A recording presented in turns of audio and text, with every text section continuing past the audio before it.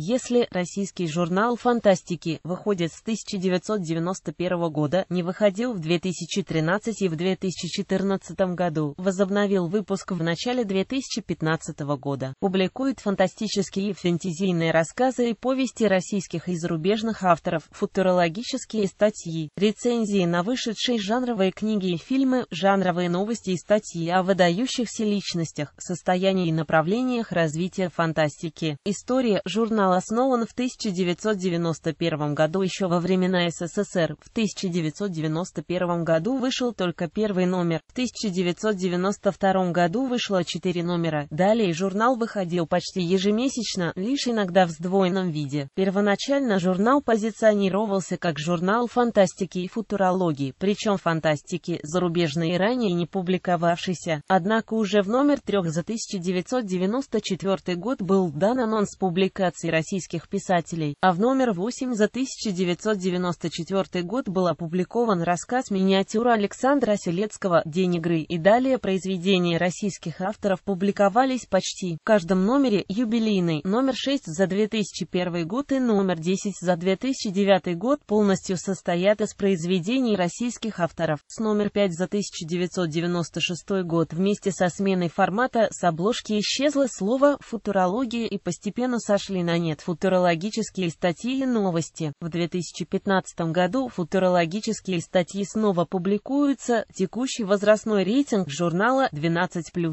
В 2012 году номер 10 и номер 11 были отмечены рейтингом 16+. В более ранних номерах большая часть материалов соответствует рейтингу 12+, некоторые материалы 16+, с 1991 по 1996. Старый формат с 1990 1991 года по номер 4 за 1996 год журнал выходил в издательском доме «Московские новости» в формате А4 на газетной бумаге с черно-белыми иллюстрациями и объемом 96 страниц. Журнал был организован по аналогии с ходом научного исследования. Фантастические рассказы, повести и романы публиковалось стигами «Мотив», «Задача», «Сбор данных», «Условия», «Гипотеза», «Эксперимент» и «Результат», иногда коррекция, после которой могли следовать еще один эксперимент и результат. После фантастического произведения в большинстве случаев следовала научно-популярная статья, тематика которой пересекалась с элементами произведения. Таким образом, из фантастических произведений и статей выстраивалось футурологическое исследование. До номер 7 за 1994 год тираж журнала составлял от 75 до 150 тысяч экземпляров. Далее постепенно снижался от 50 до 20 тысяч экземпляров. Журнал печатался в ИПК «Московская правда», а с 1996 по 1998 формат с цветным видеодромом. С номер 5 за 1996 год журнал издавался издательским домом «Любимая книга» в карманном формате А5, на мелованной бумаге с цветным разделом «Видеодрам» в конце номера. Организация журнала была изменена, теги футурологического исследования исчезли, проза перестала быть организованной в определенном порядке. Оглавление стало упорядочено по рубрикам, снабженными пиктограммами. Сначала перечислялась фантастическая проза, романы, повести, рассказы, затем публицистика, критика и так далее. Сразу после смены формата объем журнала составлял от 260 до 280 страниц. Однако уже к номер один за 1997 год журнал достиг уровня от 304 до 320 страниц. С номер 6 за 1996 год у журнала журнала появился номер АЯСС 0136-0140 с номер 7 за 1997 год. Оглавление журнала стало двухстраничным с короткими редакционными аннотациями к произведениям и статьям. С номер 10 за 1997 год журнал снова выходит на газетной бумаге. Журнал печатался General Press Publication Essay. С номер 4 за 1998 год в Словакии при содействии фирмы Discovery тираж 20 тысяч экземпляров. С 1999 по 2012 формат бесцветных страниц «Кризис 1998 года» журнал выдержал, но не без затруднений. С номер 10 за 1998 год тираж был сокращен до 10 тысяч экземпляров. Раздел «Видеодрам» лишился цвета. Два номера было выпущено сдвоенными, номер от 11 до 12 за 1998 год и номер от 1 до 2 за 1999 год. Год. До номер 5 за 1999 год журнал печатался на Ярославском полиграфическом комбинате, номер 7 и номер 8 в типографии Виктория Принт. С номер 9 журнал печатается на Красногорской типографии и Чеховском полиграфическом комбинате. К концу 2002 года тираж поднялся до уровня 14 тысяч экземпляров и оставался таким в течение почти 10 лет. С номер 3 за 2012 год тираж составлял 1,1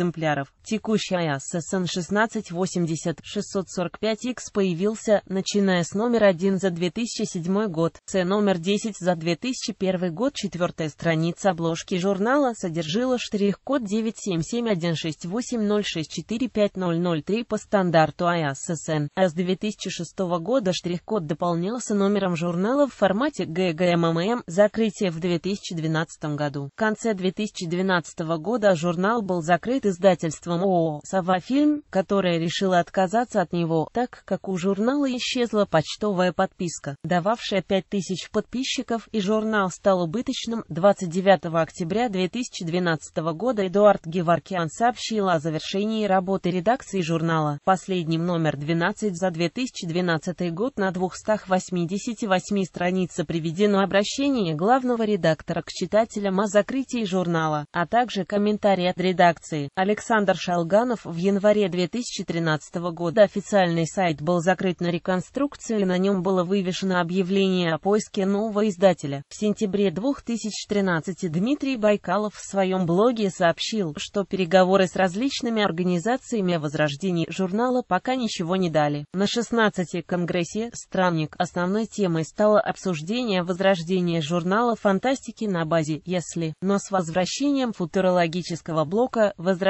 журнала» в 2015 году. В апреле 2015 на сайте журнала и в блоге Дмитрия Байкалова появилось сообщение, что журнал «Возрожден» и его новый выпуск за 2015 год уже отправлен в типографию. Презентация выхода возрожденного журнала состоялась на фестивале Еврокон 2015 в Санкт-Петербурге. В июне-июле первый номер был доставлен подписчикам под воздействием спонсора, компании РВК. Концепция журнала изменилась, если из альманаха рассказов превратился в издание о фантастике и футурологии. По словам коммерческого директора, если Александра Кривцова, журнал убыточный существует на деньги спонсора, строительной компании. Журнал выходит в формате А5 секунд цветными иллюстрациями и оформлением. Материалы в номере разделены на трех части – прошлое, настоящее и будущее. Каждая часть содержит художественные произведения, а также исторические, аналитические или футурологические статьи, рецензии, новости, видеодрам, расположены в части «Настоящее». Периодичность журнала снижена до 6 номеров в год. В 2015 году выпущено 5 номеров, номер 1 за 2015 год обозначен на обложке как март-апрель 2015, однако последующие номера не имеют привязки к месяцам. Объем журнала 256 страниц, тираж 10 тысяч экземпляров. Печатается в типографиях МДМ Print МСТ, типографский комплекс девиз, номер АССН 1680-645X сохранен, однако штрих-код изменен на сохранение дополнение кодирующего порядковый номер журнала. Свидетельство о регистрации СМИ ПИ номер ФС 77 616 30 от 7 мая 2015 года. Распространение с 1993 года журнал распространялся по подписке на территории России, Украины, Белоруссии и Казахстана. В розницу поступал в ограниченном количестве, преимущественно в торговую сеть Москвы, Московской области, Санкт-Петербурга с 2001 года, Харькова. Поступление в розничную продажу обычно происходило в последних числах месяца, предшествующего титульному месяцу журнала. С октября 2015 года журнал распространяется по подписке через официальный сайт. С 2016 года, кроме подписки через сайт, распечать и прессу России, планируются розничные продажи. Содержание – типичное содержание номера журнала от 1 до 2 повести, от 4 до 7 рассказов, от 3 до 6 рецензий на фильмы, вышедшие в российском прокате, от 5 до 10 одностраничных рецензий на недавно опубликованные в России книги, от 1 до 3 расширенных рецензий на опубликованные книги, курсор, жанровые новости, статьи, персоналии, сведения об авторах прозаических произведений номера. Изредка вместо повестей публиковался роман. Некоторые номера являются являются тематическими, хотя это не объявляется напрямую, например, номер 6 за 2007 год «Альтернативная история и параллельные миры», номер 3 за 2008 год «Медицина», номер 8 за 2008 год «Городская фэнтези», номер 10 за 2010 год «Ксенофантастика». Тематические номера обозначались в оглавлении в 1994-1996 годах, в 2015 году все номера тематические, тема обозначена на обложке. Номер 1 – Космос, номер 2 – Город будущего, номер 3 – Люди и роботы, номер 4 – Биотех для людей, номер 5 – Разум во Вселенной. С 1997 по 2008 год проводилось голосование, приз читательских симпатий по произведениям, вышедшим в этом году в журнале и в России вообще. Итоги голосования были основой для премии F, конкурс «Альтернативная реальность». Начиная с номера от 11 до 12 за 1994 год, раз в полгода журнал проводил конкурс «Альтернативная реальность», публиковался лучший присланный в редакцию рассказ от начинающего автора. До 1998 года присланные работы предварительно отбирались Московским клубом любителей фантастики. Редакция выбирала победителя из от трех до четырех финалистов. Одним из победителей конкурса стал Михаил Тырин, чей дебютный рассказ «Малые возможности» был опубликован в номер 7 за 1996 год.